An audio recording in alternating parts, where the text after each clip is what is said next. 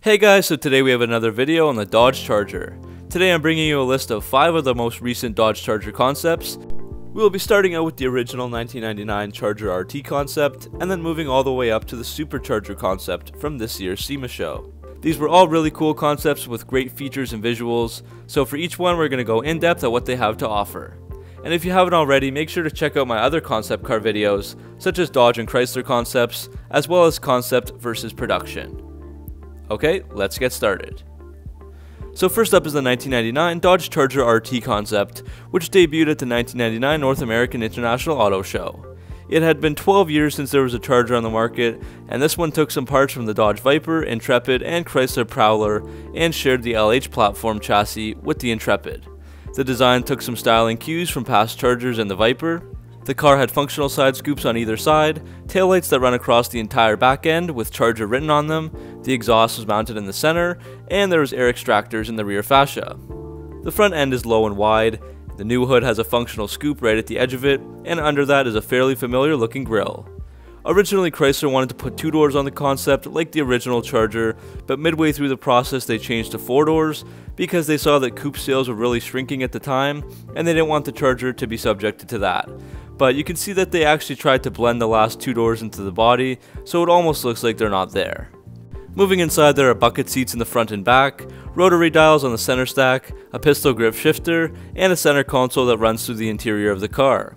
The steering wheel is a classic 3-spoke design, pedals are made of bright machined metal, and the inside of the doors look awesome with copper red sheet metal and aluminum. Mostly everything covered with black leather also has a carbon fiber texture. The seats are black leather with scarlet red inserts, and the carpets are also the same color. The instrument cluster has a main gauge with two overlapping on either side. This charger concept had some awesome performance, powered by a supercharged compressed natural gas 4.7 liter V8 engine. This V8 was 289 cubic inches, with two valves per cylinder and a single overhead cam, and this gave the Charger 325 horsepower, but we still don't know torque figures to this day. This was paired with a 5-speed automatic transmission and rear-wheel drive of course, so 0 to 60 happened in 5.3 seconds, quarter mile in 13 seconds, and it could hit 140 miles per hour. And the Charger sounded good too, with a Borla exhaust. The compressed natural gas engine is very interesting, as Chrysler was one of the first companies to offer this. CNG engines reduce emissions by up to 25%, but give the car a lot less range, only around 100 miles. So this was supposed to be the next big thing, and it looked good on paper with power and cleaner fuel emissions, but it never took off at all. Disc brakes were taken from the Viper with 4 piston calipers up front and 2 pistons in the rear. The wheel setup is staggered with 5 spoke cast aluminum rims. Up front the rims are 19 by 9 inches with 245 45 19 tires, and the back rims are 20 by 10 inches with 295 40 20 tires. This car never made it to production, as Daimler Chrysler wanted to go in a different direction at the time, and even though the real 2006 version was quite different, this concept was the foundation for that car, and it helped it come to fruition. You could test drive this car, but it would be virtually in the Midnight Club 3 Dub Edition on PS2 or Xbox. Next up we have the 2011 Redline Charger. This was revealed at the 2010 SEMA show, roughly around a month before the new generation of the Dodge Charger would be released at the Los Angeles Auto Show for the 2011 model year, which is where we saw some substantial changes from the first 2006 to 2010 generation. The Mopar Underground team was charged with the task of designing this beast, and it ended up being a one-off concept, with Dodge going all out before the real 2011 Charger was released. The CEO of Dodge at the time, Ralph Gilles, said, quote, we let the designers of the production car and their friends at Mopar rip. I wanted them to show us what they would do with this vehicle if it was their own dream car. End quote. So this was definitely one of the first opportunities for Dodge to show off what the new Chargers would look like, and they didn't disappoint. This customized Redline Charger gets its name from the paint job, which is finished in Redline Red. On the exterior, there's an aggressive body kit with lots of carbon fiber found in the front splitter, air dam, rear spoiler, diffuser, roof, hood, side scoops, and mirror caps. The headlights and taillights also get blacked out, and the side scoop is a really nice touch, paying homage to the scoop of the 1970 Dodge Charger RT, and the black and red works beautifully. The inside also follows this theme with a red and black two-tone interior. There are Mopar Catskin Performance seats trimmed with radar red Nappa leather and bright red stitching. There was also redline aluminum bezels for additional accents. The steering wheel was a new 3-spoke SRT prototype with paddle shifters, showing car enthusiasts what the real one might look like down the road and there was also the debut of the interior touchscreen. The Redline Charger had some good performance to match its looks. Under the hood was a standard 5.7 liter V8 Hemi, along with a 5 speed automatic. Stock numbers at the time were around 368 horsepower and 395 pound feet of torque, but this car was tuned and had some modifications to raise those numbers. So a cold air intake, headers, and free flowing exhaust system would have added some gains here. And to improve handling, tuned suspension lowered the car by 1 inch, and a Mopar strut tower brace was added in the front for better stability. The wheels were also huge, as is customary for concept cars, with 22 inch super alloy wheels with a red lip around them. Basically, a similar design was later found on the SRT8 models. And the Pirelli tires were wide as well, 265 35 22 in the front, and 295 30 22 in the rear. So this was an awesome concept Dodge brought out.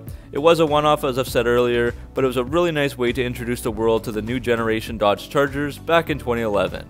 The Redline eventually became a package in 2014 for Charger SXT and SXT Plus V6 models. The Dodge Charger Juiced is next up, and it was unveiled at the 2012 SEMA show in Las Vegas. This was one hell of a beast, juiced up with a Viper V10 crate engine. More on that in a minute. This is another beautiful creation from Mopar, again based on the 2011 to 2014 gen of the Charger. Mopar added a front chin spoiler, performance SRT hood with functional intake, and some unique Mopar matte black graphics for the hood and deck lid that fit really well with the design. The car is painted in a metallic orange color, officially called Copperhead, and the hood, roof, and deck lid have a matte Copperhead finish instead of gloss. Smoked headlights and a black grille complete the look, and another nice touch are V10 fender decals to show off what's under the hood. Inside there are more Copperhead accents, including patches of Alcantara inserts and stitching on the black catskin leather seats. There's also copperhead stitching on the steering wheel, shifter, and armrest, while the copperhead logo is embroidered in the backs of the seats. There are also copperhead bezels, along with door sills, premium carpet floor mats, and a pistol grip shifter, all from Mopar. Shifting back to performance, this juice charger gets an 8.4 liter V10 engine from a Viper, pumping out a whopping 650 horsepower. This beast also gets a Mopar cold air intake and a catback exhaust to add some noise and even more horses. A Mopar lowering kit was added as well to tighten the ride and improve handling around corners. The Charger Juiced also showed off some new 20 inch lightweight wheels with a copperhead stripe, and these would be the standard wheels for some models down the road a few years later, like Daytonas and Scat Packs. The Charger Juice was a simply awesome concept that was definitely a one off at the time, but was a precursor of what to come, as just three years later the Hellcat was released with even more power than this beast. One year later at the 2013 SEMA show, the Dodge Charger Scat package was revived and announced to be coming soon to the Dodge Dart, Challenger, and Charger. As far as I know, it didn't make it to the Dart, but the Challenger and Charger did get this package from 2015 models all the way to today. The Scat Pack was a performance kit offered in the late 1960s on some Dodge vehicles, and Dodge decided to bring it back to their current muscle cars. And on the Charger here, Dodge showed off another RT at SEMA. The concept car they brought had 20 by 9 inch Hyper Black 2 lightweight wheels, and again these were eventually found on the real Scat Pack. There was also a front splitter, rear spoiler, and some black coloring on the hood. Inside were catskin black performance leather seats, some red leather Dodge stripes on the door panels, red accent stitching, red Dodge Charger logo embroidered in the front seat, black chrome door panels and bezels, bright pedal kit, pistol grip shifter, door sills, and a wireless charging pad. There were three stages of the SCAT package, so stage 1 included a performance cold air intake, catback exhaust, SCAT package 1 badge, and a calibrated engine controller optimized for the 5.7 Hemi. Stage 2 adds another engine calibration, performance camshaft and stage 2 badging, and finally stage 3 would have included ported and polished cylinder heads, revised ECU, stage 3 badging, and high flow performance headers. The Scat Package offerings didn't really materialize, but of course we did see the Scat Pack release as a 2015 model, and still living to tell the tale now as a 2019 model for the Charger, sliding right in behind the Hellcat. One year after the Scat Package, Dodge unveiled the Charger RT Mopar concept at the 2014 SEMA show. Of course by now we can see that this design ended up being for the 2015 facelift, with quite a different look to it. Dodge wanted to appeal to young and affluent customers, mainly millennials and Generation X's, with this aggressive and youthful design, paying tribute to past muscle cars while still providing a modern exterior and interior. So the exterior is painted in TorRed, and they gave it a gloss black roof, front splitter, Mopar side sills, unique exhaust tips, and a one-piece spoiler for aerodynamic and visual purposes. Under the hood is the same 5.7 liter Hemi with 370 horsepower and 395 pound-feet of torque, but Mopar did add a cold air intake. And for improved performance, there's a coilover kit, front and rear sway bars, and front and rear tower braces. The wheels are Mopar lightweight 20 inchers with a granite crystal low gloss finish. As for this concept, it really wasn't much of a concept as much as it was an early version of the production model, as the real Charger RT and the next generation of the Chargers started to look like this in 2015. But it did give buyers a great first look at the new design through the 2014 SEMA show.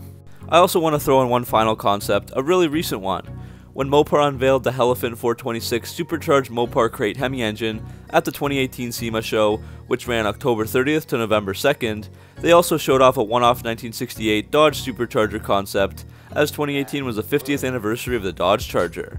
The Mopar team built an awesome fusion of heritage and modern styling with this one. The hood has a scoop that takes inspiration from the Demon, and there's also a chin splitter and rear spoiler. The car is painted into Grigio Grey Metallic, and there's the Hellephant logo everywhere from the gas cap to the fenders to the steering wheel. The wheels are taken from current SRT vehicles as they have the same devil's wheel pattern that we've seen. Up front there are 20 by 11 inch wheels, and the back has 21 by 12 inch wheels, both massive, with 6 piston Brembos in all four corners. Seats are from the Dodge Viper with a 4-point racing harness and custom roll cage, along with a Viper steering wheel and cool Mopar gauges, some taken from the Challenger Hellcat and under the hood is the 426 Hemi with an astounding 1000 horsepower and 950 pound-feet of torque. This gets paired with a stock 6-speed Tremec manual. While there was just one of these concepts, this was an amazing way to unveil the 426 Hemi and honor the past. So that's the end of this video. Hopefully you guys enjoyed looking at these 5 Charger concepts. Which was your favorite? Let me know in the comments section below. Make sure to like and subscribe for more Mopar and Dodge Charger content, and I'll see you next video.